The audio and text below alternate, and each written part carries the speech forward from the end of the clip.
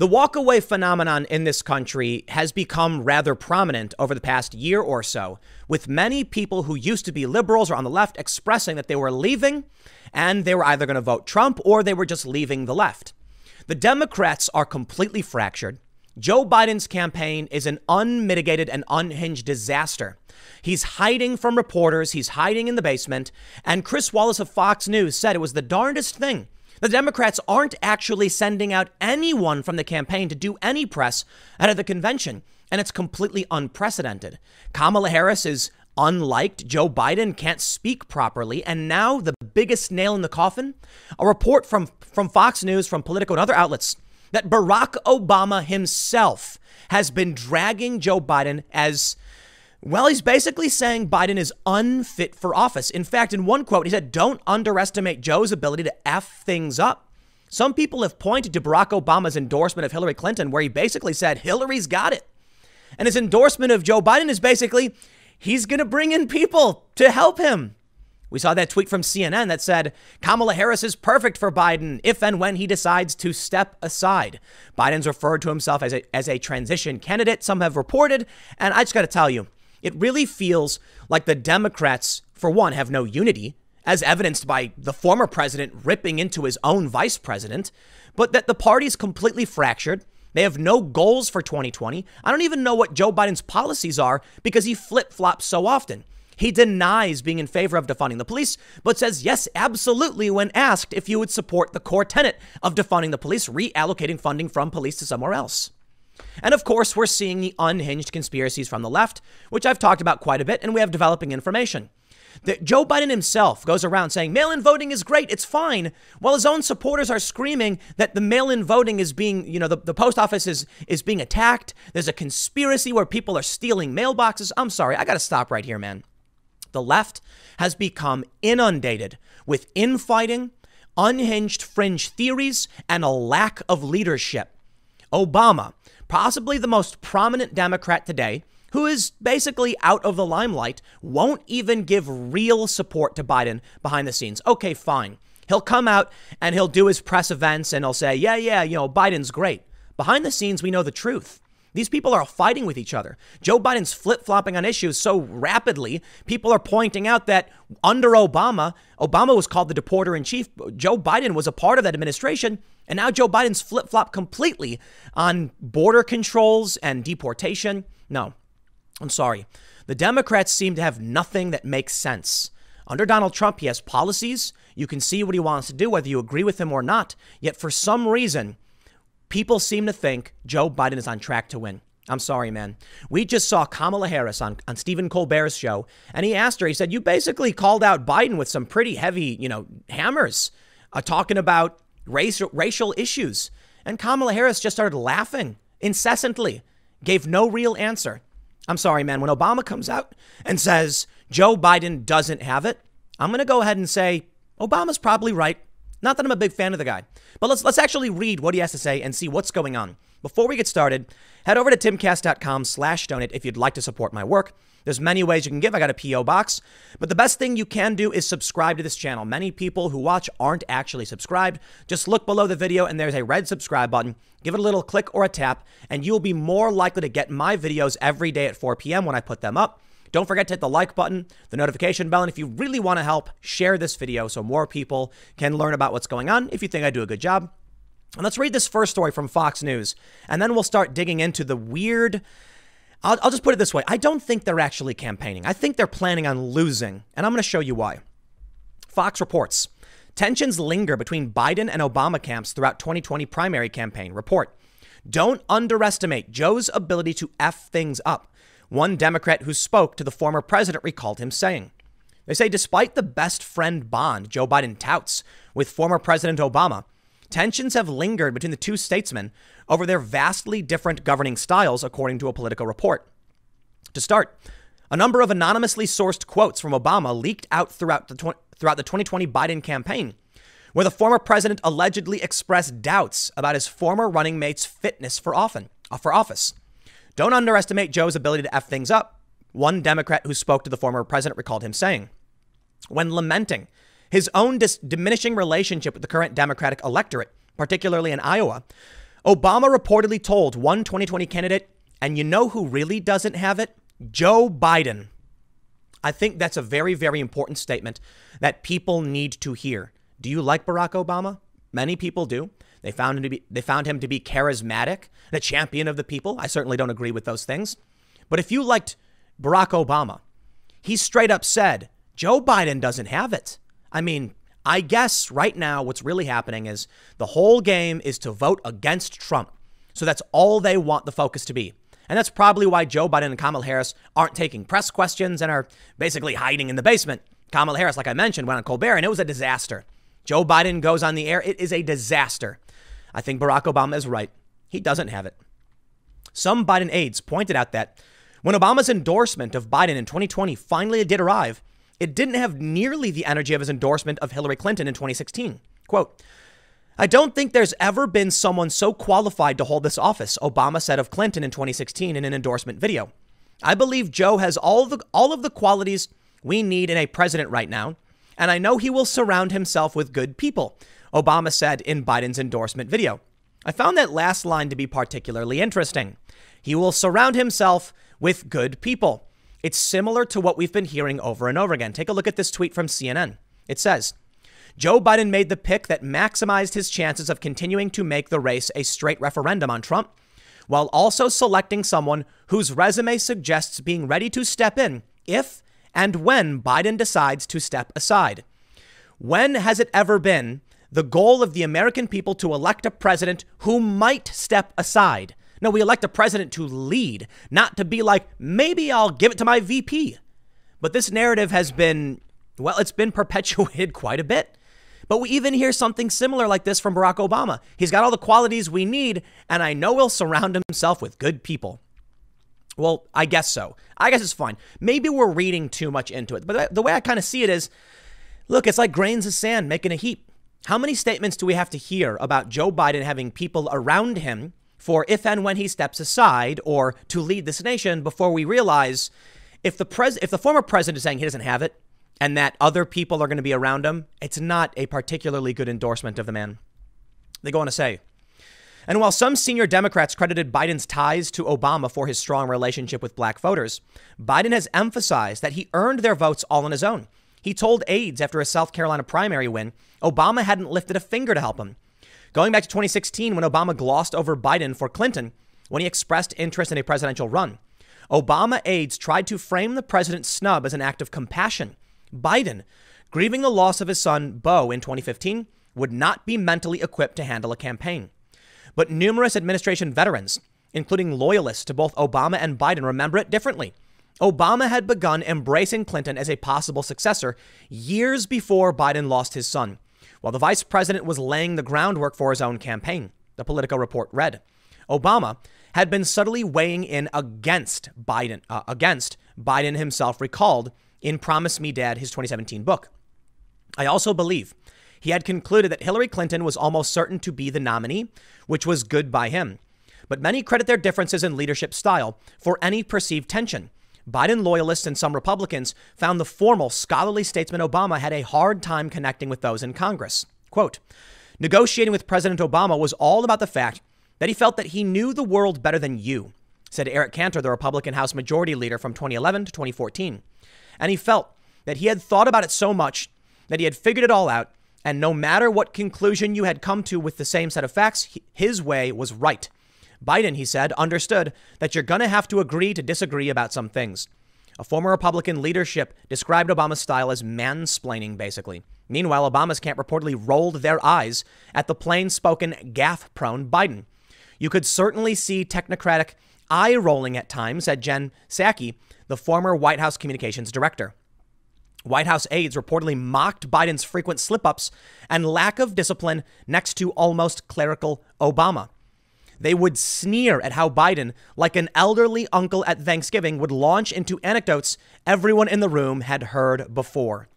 Joe Biden being roasted by the former president. There is no leadership. There is no Democratic Party. I know I'm being a bit, you know, it's, a, it's an exaggeration, but the point I'm trying to make is the Democratic Party is split beyond all recognition. Joe Biden was the best they could muster up, and Kamala Harris was the best VP they could get, and that will not unify anybody in the party. The only thing Democrats have right now, one thing Donald Trump. I've heard this meme several times and I find it hilarious. Ask a Democrat, tell me why you're supporting Biden without saying the words Donald Trump. And many people cannot do it. Of course, there are some reasons to. Many people point to the fact that Kamala Harris is the most progressive VP candidate ever, and that Joe Biden is malleable and will give in to the demands of the far left. But I think choosing Kamala Harris has soured any chances with getting the far left on board because they call her Cop Mala, a, des- a despotic authoritarian who locked people up past their sentences and a, a whole bunch of other things that have been reported. But let's take a look at the complete and utter unhinged tactics of what is turning out to be one of the weirdest political campaigns in history. The damnedest thing I've ever seen. Chris Wallace on Biden campaign not putting any surrogates on Sunday shows before convention. Something is wrong with the Democratic Party. I'm sorry. You cannot convince me to vote for you simply by saying, look at him. I've looked at Trump. I've seen what he said. What have you got for me? Nothing.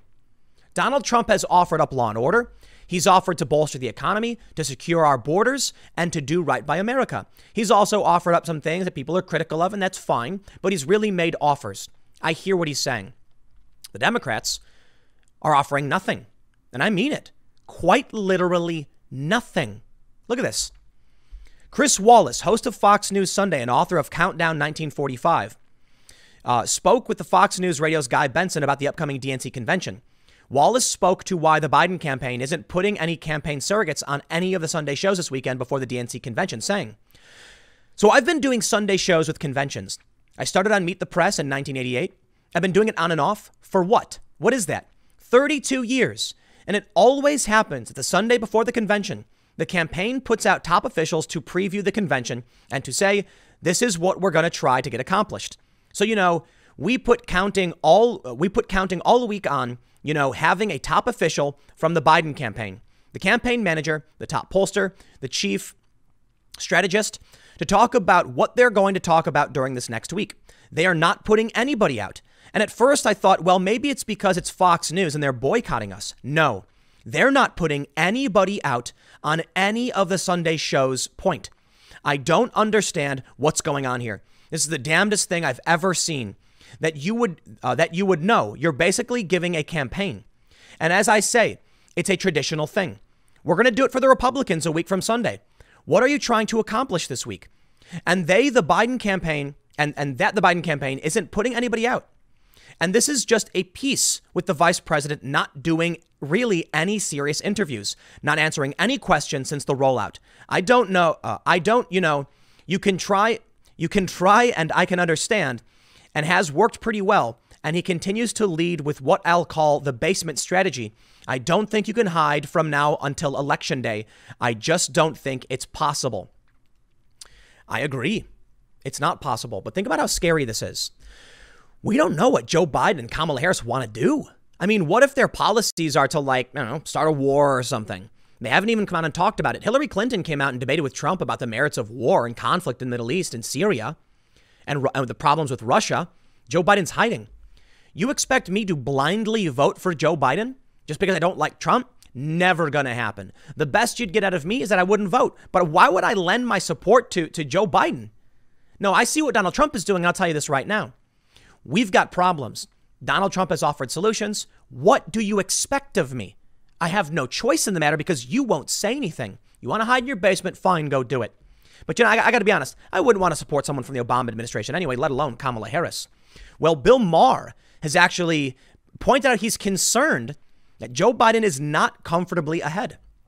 He's not. I think the media is covering up for them. Check this out. Biden staffers rush the press out of the room before Joe Biden can answer any questions. And in this video, there's Kamala Harris and Biden, and sure enough, the staffers say, everybody go, everybody leave. You know why? Every single time. I mean, at this point, either of them do press. It's miserable. It's unhinged. It's broken. It's really weird. They criticize Trump. I tell you what, man. Someone recently asked Trump at a press briefing about this this this op-ed from Newsweek that Kamala Harris is not a real citizen. And Trump's response was, I just heard about it today. I don't really know anything about it. I hear the guy is a really smart guy. And that was it. And the media runs the narrative Trump pushes racist birther conspiracy. No, he didn't. He said he didn't know anything about it. Didn't know if it was true. Just heard about it. That's about it. The media does everything in their power to make sure that Joe Biden's campaign works. Why is that? Why is media? Now, Fox News, obviously not. Chris Wallace is confused. They're not sending anybody out. Where's all the other outlets to come out and say, Joe Biden, what are you doing? Nah, they complete his sentences for him. Joe Biden will stutter and stammer, and instead of quoting all the ums and ahs and broken words, they give you the complete sentence. I guess in their minds, it's easier to just give you the, the, the idea that Biden was trying to convey, but I think it's uh, unfair. If Biden says, you know, from blah, blah, blah, blah, I think you got to write down the gibberish in the quote and say, you decide what he said. But no, they, they, so listen, if Joe Biden says something and the reporter interprets what they think he was trying to say, we don't know what Joe Biden actually said and they could be getting it wrong. Well, I'll tell you what, man. It brings me now to the weird, fractured conspiracy world of the left and the Democrats. It seems to make no sense. Take a look at this. Joe Biden said voting by mail is safe and secure. And don't take my word for it. Take it from the president who just requested his mail in ballot for the Florida primary on Tuesday. You mean the absentee ballot? Mail in, universal mail in voting is when they send out ballots to everyone. Absentee ballots are when you request one. But that brings me now to the far left conspiracies that just persist in media, and for some reason they don't debunk. This person said, if these pics are real, are we watching mail mailboxes being picked up off the street in Oregon and New York? Are we watching voter suppression in broad daylight right in front of our eyes? In my life, I've never seen trucks hauling mailboxes away. Plus, it's happening in many places before the election. This is what they're saying. You've got Joe Biden saying it's safe and secure, and people responding to him saying, no, it's not. They're stealing mailboxes. They're writing stories like this USPS confirms removal of public mailboxes from Oregon cities. Yes, they did confirm it. But did uh, any of these outlets like Democracy Now! care to finish the sentence as to why they were being removed? I love this. They're being removed because they're being replaced. This to me is actually incredible. Take a look at this story. Photo about removing mailboxes goes viral, but USPS says it's replacing old ones. Was that it? And this is KATU. Look at this Portland, Oregon. Is someone taking mailbox from around Portland? Now, the other day I said my understanding was they were removing mailboxes because they were mostly empty, and the mail carriers had to go around and do massive rounds to mailboxes that had nothing in them. And by centralizing mailboxes, it was lowering the cost of operating for the post office, something good. I did read that in a news source, but as it turns out, they're saying they're just replacing them. Take a look at this. Is someone taking mailboxes from around Portland? A social media post appearing to show someone putting USPS boxes onto a truck gained traction online. So KATU dug into it and found the post office is the one removing the boxes to replace them because they're old. I, sw- I swear. What is happening? This is you've got demo- you've got these left-wing publications. They are putting out these narratives. Jamie Lee Curtis, high-profile leftists. They say a spokesperson said they've taken down four mailboxes in Portland and more than two dozen in Eugene. They plan to remove more mailbox- mailboxes from around Portland in the coming weeks. They're replacing them because they're old? Is that it? So actual local journalists did some digging and found out that's all that's happening? I'm telling you, man, it is completely unhinged. But I'll tell you what is freaky to me. Why would Joe Biden be telling everybody that mail in voting is safe? Everyone go do it at a time when people are freaking out about mailboxes. You'd think he'd bring up, hey, people are concerned about what's going on with the USPS, it not having proper funding due to, you know, due to COVID economics. People aren't sending mail anymore. So they're facing a massive budget shortfall. No, he says ignore it. Well, I'll tell you what's interesting. This tweet from Jonathan Lai. The PA Department of State, in its filing today, says mail ballots should be counted if they are received by Friday after Election Day and are postmarked by Election Day, have no postmark, or have illegible postmarks. Only reject them if they are postmarked after Election Day. What? So, wait, wait, wait. You mean to tell me if you want to vote and it's past election day, you need only physically bring it and drop it off in the mailbox, the polling station. Don't let it go through the through the through the post office or whatever. Is that what they're saying? I don't think you can do that. I think that's that's got to be illegal or something, right? They're going to be counting mail-in ballots that have no postmark that arrived after election day. Okay. What have we heard all, from all of these leftists uh, with all these unhinged conspiracies that Donald Trump would likely win on election day? And then over the coming weeks, they would find more votes from the Democrats proving Joe Biden won, and Trump would cry fraud. I mean, it sounds like they're making fraud really easy. And why is it that Fauci says there is no reason Americans can't vote in person in November? Infectious disease expert says it'll be safe to cast ballots in person if voters follow social distancing guidelines. So, what's the problem? I don't know. All I know is Joe Biden is hiding in his basement. Kamala Harris has no idea what she's talking about. She's actually relatively far left. I know the far left doesn't think so, but compared to regular Americans, she is. Biden can't speak straight. They're both hiding. Obama himself is dragging Joe Biden. I'm sorry, man. We are looking at one of the weirdest campaigns I have ever seen in my life, and I don't I don't know how to explain it. I mean, with with with with Romney, with Kerry, with Bush, I've been through several elections. I mean, I was a kid during Clinton and stuff, so I didn't really pay attention to all that stuff. But as I was growing up, I started watching. I remember watching, you know, uh, Bush and Gore when I was real young, just like I had no idea what it really meant. But everything went off, you know, not perfectly. But even with Gore and Bush, it wasn't this crazy. They both were campaigning. Unless there's something I missed because I'm not old enough to remember, this is the this weirdest election I've ever witnessed. Maybe there are other weird ones. I think it's entirely possible.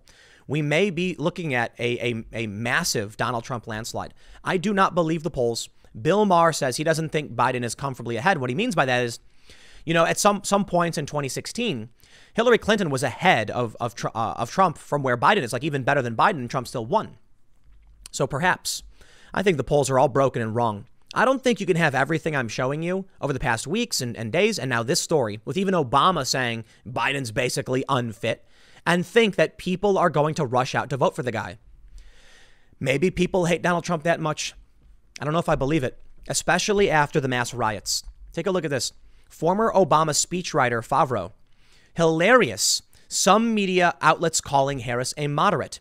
He says, It was hilarious to me that she's being called, in, in, in all this coverage, a moderate. Like Joe Biden has found a fellow moderate or centrist.